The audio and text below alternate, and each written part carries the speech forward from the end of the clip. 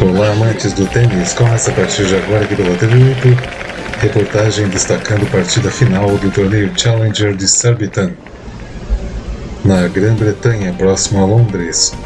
Temporada 2023. Esta é a 19 edição do torneio, o primeiro realizado em quadra de grama na temporada 2023. Torneio este que é um dos preparatórios para a edição deste ano de Wimbledon.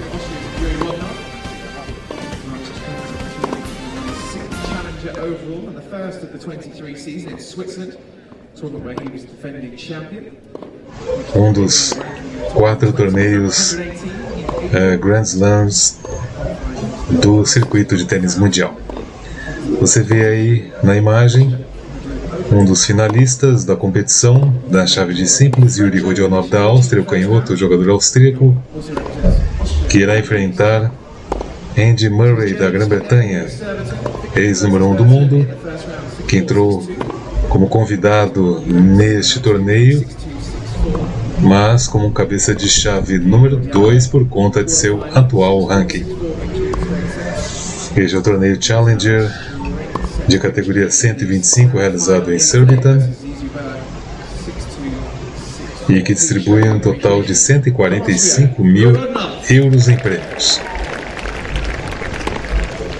Esta é a imagem da quadra central do complexo tenístico do Surbiton Racket and Fitness Club na cidade de Surbiton, próximo a Londres.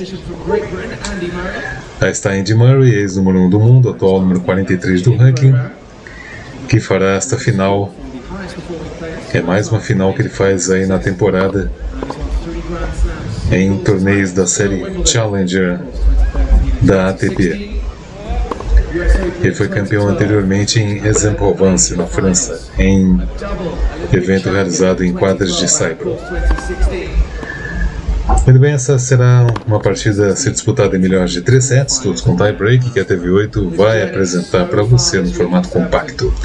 A partir de agora, vocês estão aqui na companhia de Ed Martinez na narração. Os campeões recentes deste torneio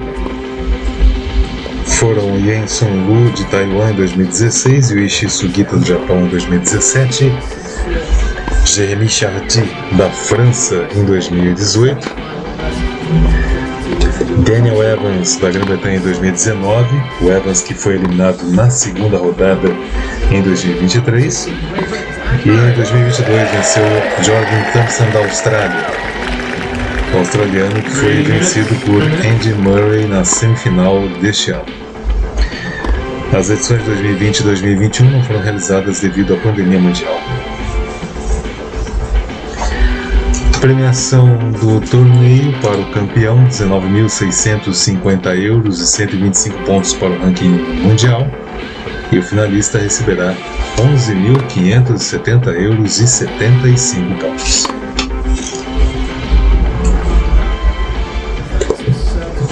Bem, ficha dos jogadores, começando pelo Yuri Rodionov da Áustria, de 24 anos, nascido em Nuremberg, na Alemanha. Este que está à direita da tela dividida. 1,91m de altura, 83 kg. Profissional desde 2017, atualmente no 134 ranking de entradas, melhor ranking 118 em abril de 2023. Rodionov não perdeu nenhum set, ou ele venceu por 6-4 ou por 6-2 os sets que disputou. Ele bateu Otto Virtanen da Finlândia, 6-4-6-2, a Christopher Eubanks dos Estados Unidos, cabeça 8, 6-2-6-4, a Gabrielle Diallo do Canadá, que entrou como alternate 6-4-6-4, e a Zizo Bergs da Bélgica, 6-2-6-4. Até o momento, Rodionov esteve em quadra num total de 4 horas e 28 minutos. Andy Murray, britânico de 36 anos, nascido em Glasgow, 1,91m de altura, mesma altura do Rodionov e 1 kg a menos que o austríaco, 82 kg. Profissional desde 2005, atualmente número 43 no ranking de entradas, melhor ranking em novembro de 2016. Aí você está vendo o árbitro de cadeira John Blom da Austrália, experiente árbitro de cadeira do circuito. Murray venceu a Yeon Chung da Coreia do Sul, que entrou como ranking protegido. 6362, a Yun Xiaoke-Tebu da China, vindo do Quali 7664, a Jason Kadler da Austrália, cabeça 5 366364 e ao também australiano Jordan Thompson na semifinal 7663. Confrontos diretos 1 a 0 para Murray. Este confronto foi realizado anteriormente em Surbiton, na edição 2022 deste torneio. Jogo de primeira rodada, piso grama, claro, e Murray venceu 6-2 e 6-1. E vamos ao compacto.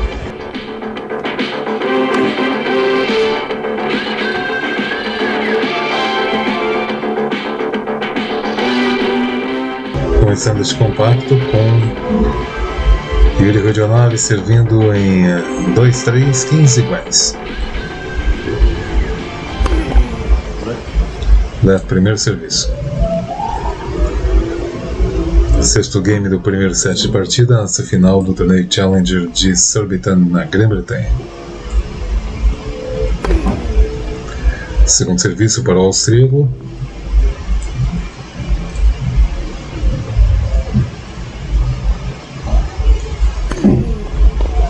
Nossa, na linha, no limite aí o saque do Rodionov. Tentou o lob defensivo Murray, bola dentro. Drop shot do Rodionov, vem Murray, chegou. Lob do Rodionov. Contra lob do Murray. Murray pegou o smash do austríaco que acabou cometendo o erro. Reveja na repetição um ponto bastante movimentado. Murray pegou o smash e na volta o Rodionov não conseguiu sustentar o ponto e acabou errando, erro não forçado na tentativa da paralela. 15 e 30. No buraco está o austríaco. Estamos nos aproximando aí da metade do primeiro set. Grande bola do Rodionov foi no limite, bola na linha do austríaco. 30 iguais.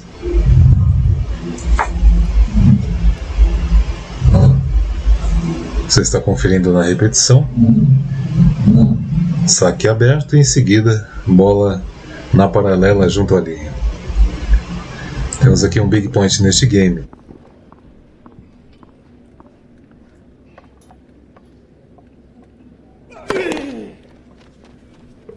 Segundo serviço.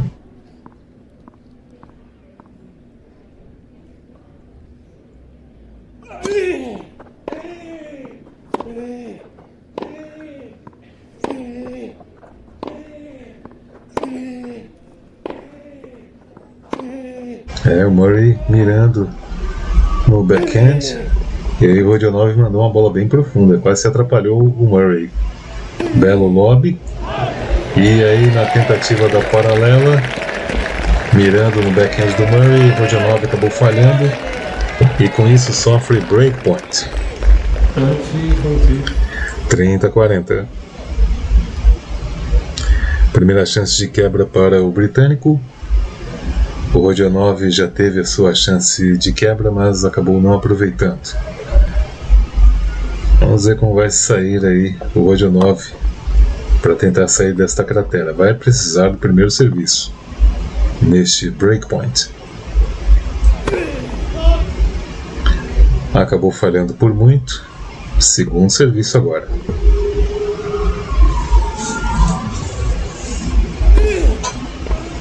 No limite o Rodionov.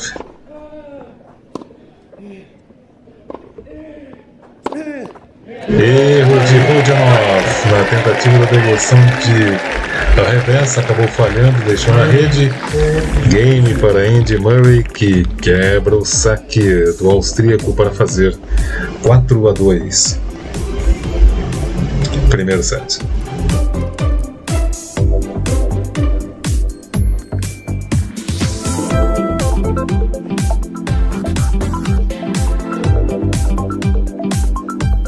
Chegamos aqui ao momento decisivo do primeiro set, com Andy Murray liderando por 5 a 3 após 32 minutos de partida. Mas está Yuri Rodionov da Áustria.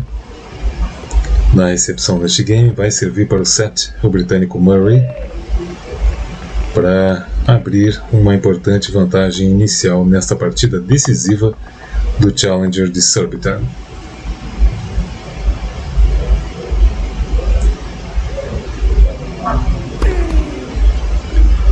Em sua campanha, Murray perdeu um único set, o primeiro nas quartas de final, quando precisou virar para cima do Jason Kebler da Austrália. Rodionov até o momento não perdeu nenhum set.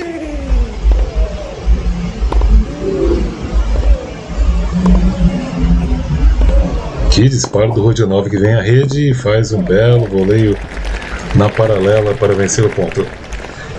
0-15.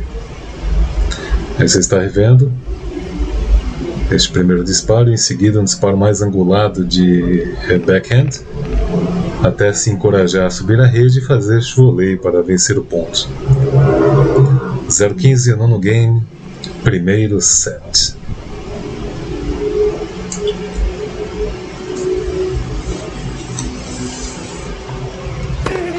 Excelente saque de Murray, mesmo no forehand, o Rodionov acabou falhando saiu um pouquinho do alcance do austríaco que não conseguiu se manter no ponto. Excelente saque do britânico que comemora. 15 iguais.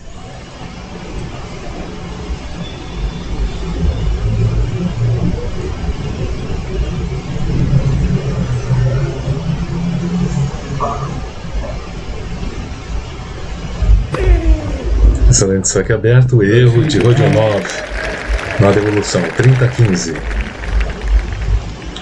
Você está aqui na TV8, este é o seu canal TV8 Esportes Vídeos que traz para você imagens dos torneios da série Challenger da ATP. Inscreva-se no canal, curta e clique no sino para receber novas notificações.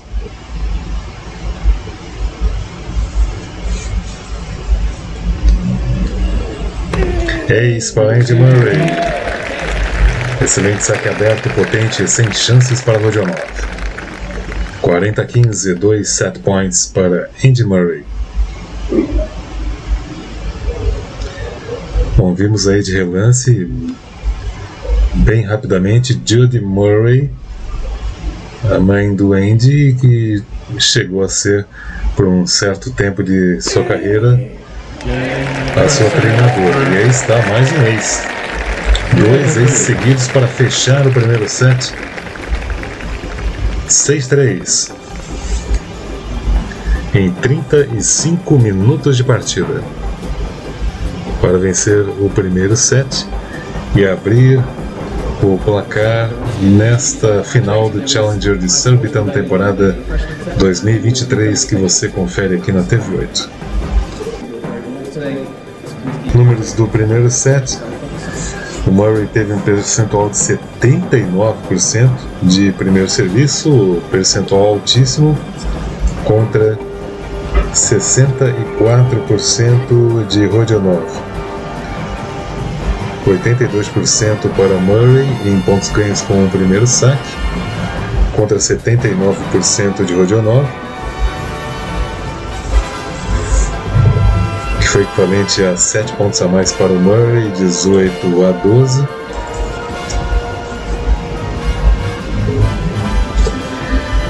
Três a 3 em pontos ganhos com o segundo saque. O Murray que venceu o primeiro set com uma quebra de serviço de vantagem, uma quebra em uma chance.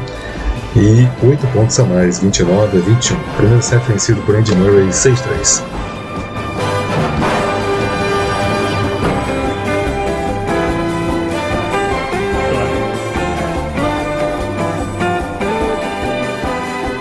Início do segundo set, estamos no terceiro game, 1 um a 1 um no placar. O canhoto Rodionov está aí ao serviço, 15 iguais. Está Andy Murray, que há pouco venceu o primeiro set de partida por 6-3 nesta final do Challenger de Surbiton jogado em piso de grama.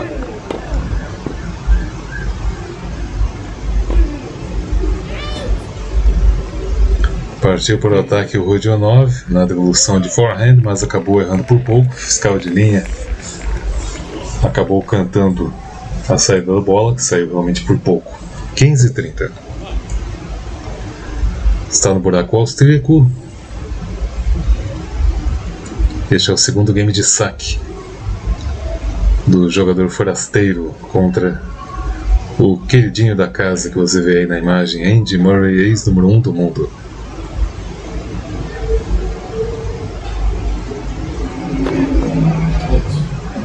Deu fora o árbitro de cadeira John Blom, fiscal de linha, provavelmente tinha dado bola boa.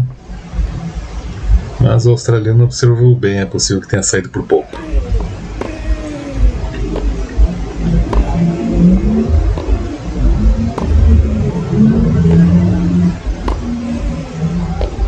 Hum, madeirada, madeirada do Rodionov, uma devolução cruzada no revés. 15 42 breakpoints para Andy Murray. Uma quebra em uma oportunidade para o britânico, nenhuma quebra em uma oportunidade para Rodionov, números do primeiro set.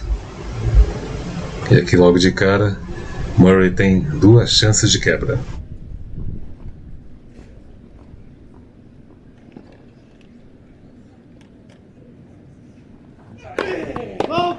Saque aberto, mas acabou saindo. Segundo serviço.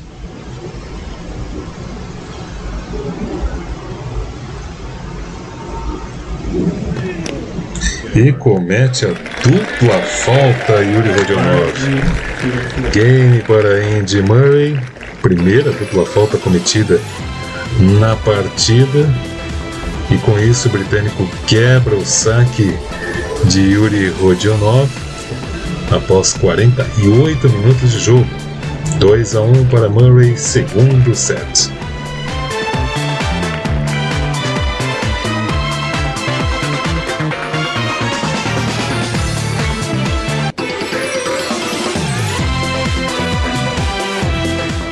Muito bem, essa é a nova contagem da partida. Andy Murray da Grã-Bretanha lidera agora 3 a 1. Segundo set, ele que venceu o primeiro 6-3 após 54 minutos de partida, 19 minutos neste segundo set. Aí está o serviço Yuri Rodionov neste quinto game.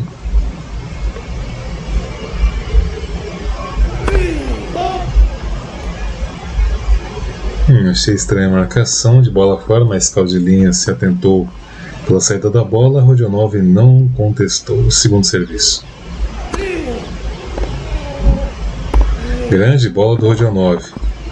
Melhor ainda o Murray. Que bola espetacular que ele enfiou nesta cruzada. Reveja.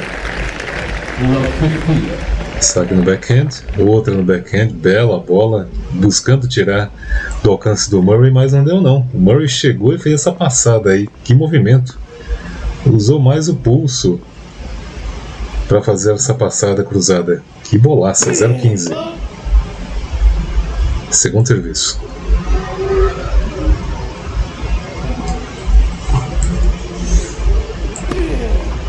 Saque sobre o corpo, mas que devolução do Murray.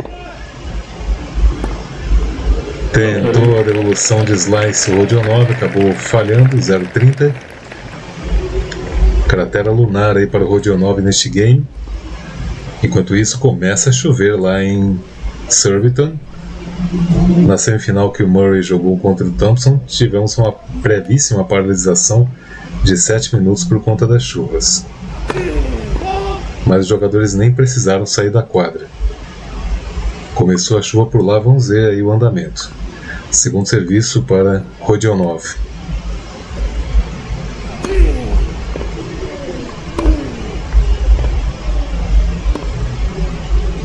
Lá vem o Murray, tentou o lob Rodionov. Ah, essa bola acabou saindo além da linha de base. Bola fora, 0,40, triplo breakpoint para Andy Murray. Duas quebras em duas chances para Murray. Nenhuma quebra em uma oportunidade para Rodionov.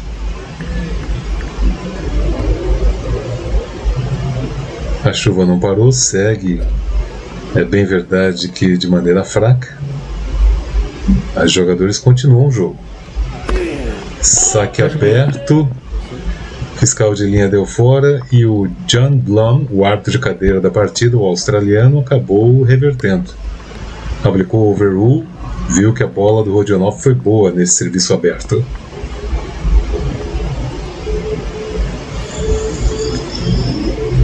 Parece que a chuva apertou e os jogadores acabaram de sair da quadra.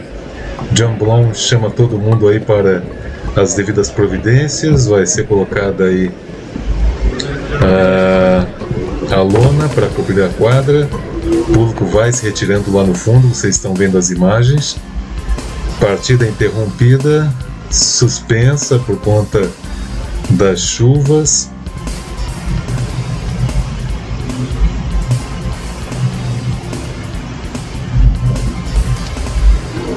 Andy Murray vencia este quarto game do segundo set com a vantagem de ter três break points, mas o jogo foi suspenso. Estávamos aí com 58 minutos de partida. Todo mundo vai se retirando da quadra. E aí vocês já vão vendo aí como foram as coisas no uma pós-parada, né? vamos dizer assim. As chuvas que caíram lá em Surbiton durante a partida decisiva acabou perdurando por muito tempo. Tanto é que a quadra não, não teve jeito, acabou sendo coberta inteiramente. Uma área grande da quadra central em Surbiton precisou ser coberta toda a estrutura foi desmontada.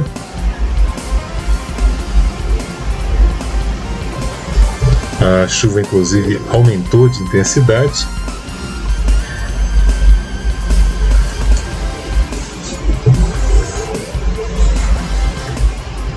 Inclusive, os o pessoal de apoio da organização precisou, inclusive, ajustar a lona na quadra central, estava com muito, é, muito ar por dentro, até ficou bem alta a lona estendida na quadra. O pessoal de apoio precisou fazer o devido ajuste. E a chuva parou depois de duas horas do último ponto jogado. Aí o pessoal de apoio começou a retirar a lona para a preparação da quadra para sua continuidade. O retorno dos jogadores aconteceu 40 minutos praticamente após a parada das chuvas. Ou seja, eles voltaram à quadra depois de 2 horas e 43 minutos do último ponto jogado. Com isso, eles precisariam passar por um novo período de aquecimento de 5 minutos, no mesmo período de aquecimento antes do início normal da partida.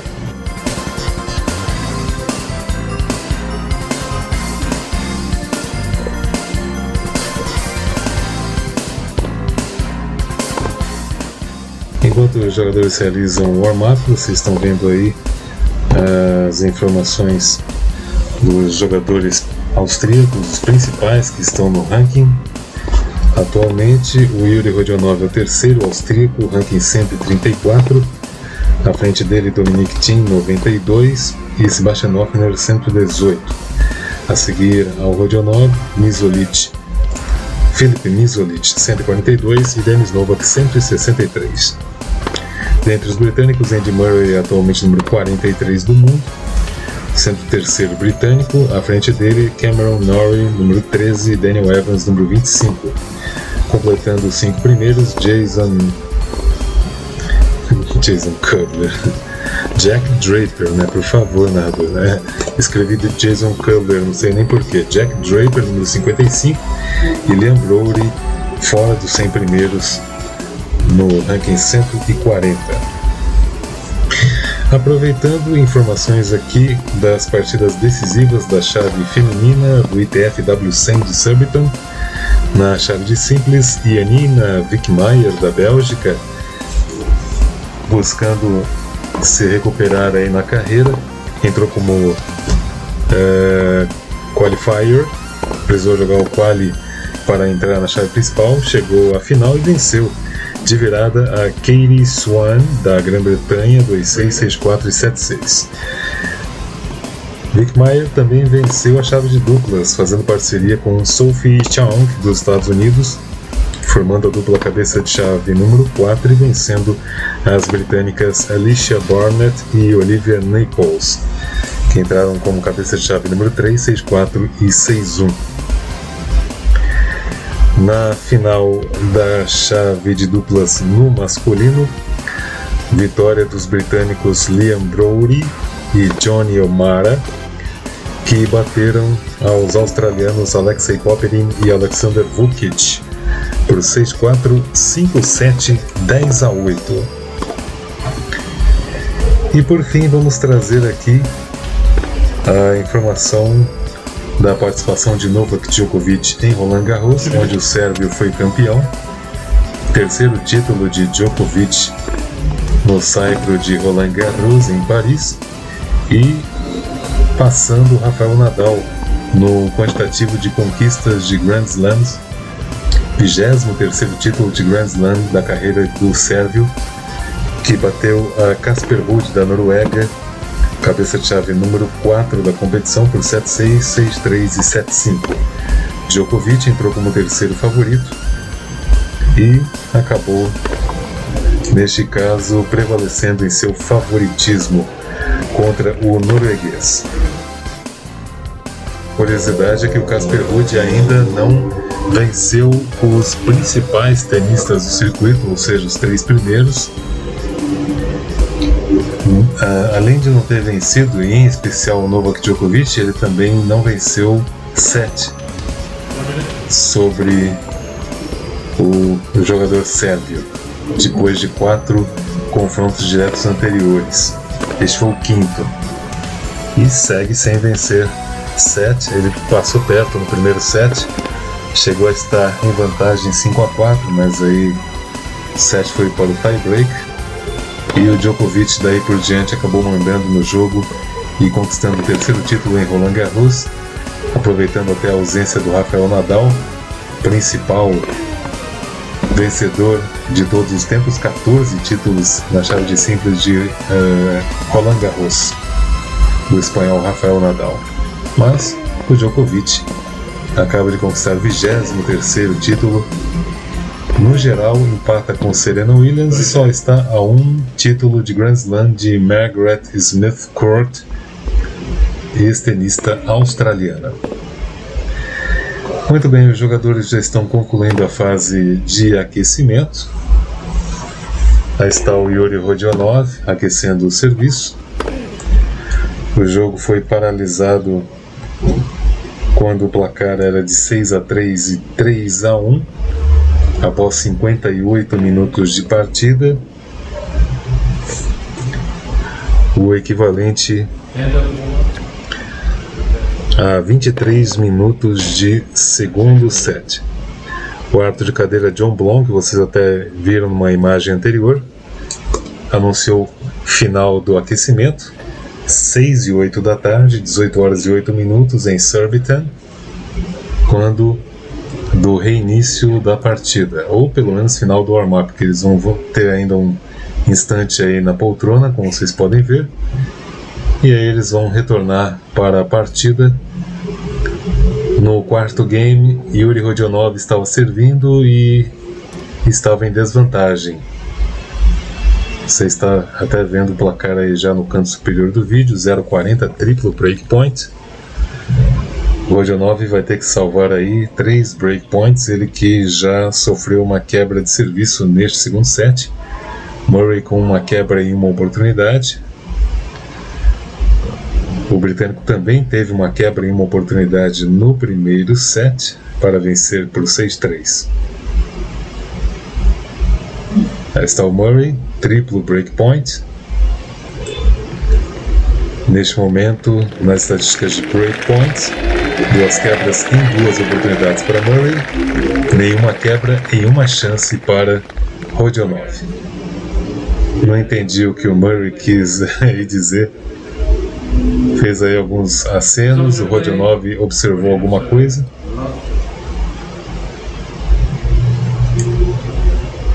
Não estou entendendo o que está acontecendo. Vamos ver.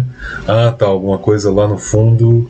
Ah, tá, as toalhas que tinham sido colocadas ali para a preparação da quadra, para a secagem da quadra após duas horas de chuva seguidas lá em Surbiton. Triplo breakpoint. Segundo serviço para o canhoto austríaco Yuri Rodionov.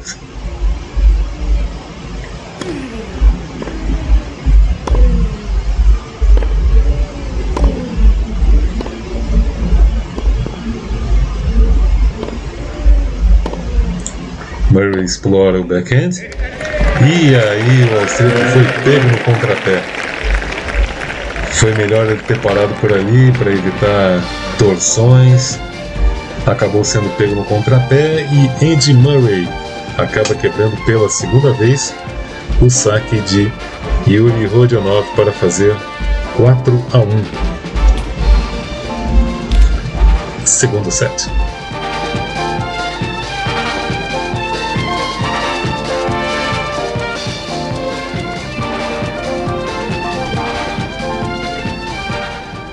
Aí está o público presente na quadra central do Surbiton Racket and Fitness Club. Uma hora e cinco minutos de partida, 30 minutos neste segundo set. Vai servir Andy Murray com bolas novas para o campeonato. Em 5 a 2, ele que venceu o primeiro set 6-3, para conquistar mais um título na carreira. Faz mais um ace no jogo. 15 a 0. Ele que foi campeão olímpico em Londres 2012 na grama, bicampeão de Wimbledon também. Foi ele o responsável por ter tirado a Grã-Bretanha de uma fila enorme de tempo para conquistar finalmente o título na grama londrina. É, Rodionov partiu para a pressão junto à rede, até que o Murray obrigou o austríaco com um erro forçado. Olha só, exigiu um voleio onde ele teve que pegar baixinho a bola o austríaco no revés. Partiu para a tentativa da passada, uma pancada na bola do Murray, provocando o erro forçado de Rodionov. 30 a 0, Andy Murray está a dois pontos do título de Surbiton. Mais um ace. Que pancada no saque fechado de Andy Murray. 40 a 0, triplo match point. Andy Murray está aqui a um ponto do campeonato. Mais um título de série Challenger da ATP em 2023. Olha, tentou mais um ace, mas por pouco ele errou, hein? Segundo serviço. Ele venceu anteriormente em Aix-en-Provence, torneio Challenger 175 jogado no Saibro. Erro de Rodionov. Erro de Rodionov na devolução eh, de backhand. Game para Andy Murray que fecha a partida. 2 sets a 0 para o ex número 1 um do mundo Andy Murray na final contra Yuri Rodionov da Áustria. Parciais de 6-3 e 6-2. Andy Murray sorri, comemora com a sua torcida. É campeão do Challenger de Surbiton, jogado na grama, torneio preparatório para Wimbledon nesta temporada 2023. Sets diretos para Andy Murray nesta boa campanha que fez na grama de Surbiton, cidade próxima à capital Londres. E a cerimônia de premiação já vai sendo montada aí. Enquanto isso, vocês já vão vendo também os números finais, dados estatísticos da partida. Foram 15 aces no agregado, 8 deles realizados pelo Murray, 2 deles no último game. Uh, sete aces de Rodionov, uma dupla falta apenas cometida na partida, foi uh, cometida pelo austríaco 74% de aproveitamento de primeiro saque para Murray, 57% para Rodionov. Murray realizou 83% dos pontos ganhos com o primeiro serviço, 29 de 35 contra 79% de Rodionov, 19 de 24, portanto 10 pontos a mais para o Murray. Com o segundo saque, 4 pontos a mais para o britânico, além da vantagem de 3 quebras de serviço, uma no primeiro set e duas no segundo. E 23 pontos a mais para o Murray na partida, 56 a 33. Uma hora e 8 minutos de jogo, 33 minutos de segundo set. Vitória de Andy Murray, que entrou como convidado pela organização no torneio, mas inserido na chave principal como cabeça de chave número 2 da competição parciais de 6-3 e 6-2 para conquistar o título do Challenger 125 de Surbiton jogado na grama, iniciando a temporada é, de grama nos torneios da Europa prévios ao Wimbledon. Aí você já está vendo o ATP Live Rankings para os finalistas. O Murray, apesar do título, acabou perdendo 70 pontos que ele teve que defender com relação à temporada 2022 nesta mesma época. Por isso, o Murray perderá uma posição para o ranking a ser atualizado nesta segunda-feira, dia 12 de junho, caindo para o 44 lugar. Mas nada de tão complicado, ele não sei nem se ele vai conseguir perder a sua condição para jogar Wimbledon. Provavelmente ele deve jogar, né? Normalmente é, o ranking para jogar os slams são fechados com uma boa antecedência. E o Rodionov foi quem foi mais beneficiado após da, a, apesar no caso da derrota na final, ele é, vai ser o número 114 do ranking da ATP, no que melhora ele em 20 posições com relação à atualização anterior, após é, somar 81 pontos nas últimas duas semanas, porque não houve a atualização do ranking no dia 5 de junho, na última segunda-feira, e aqui então o Rodionov soma 81 pontos, 75 destes pontos de finalista em Surbiton e 6 pontos de evento anterior, é, no qual não tenho aqui exatamente a informação, mas grande parte dos pontos foi exatamente de finalista em Surbiton. Portanto, ele passará a ter aí sua melhor marca no seu melhor ranking na carreira. Ele que era número 118 passa a ser número 114 para esta semana a ser iniciada em 12 de junho. Termina aqui a reportagem que destacou o sétimo e último dia de jogos do Challenger Surbiton na Grã-Bretanha, temporada 2023, que você conferiu aqui na TV8.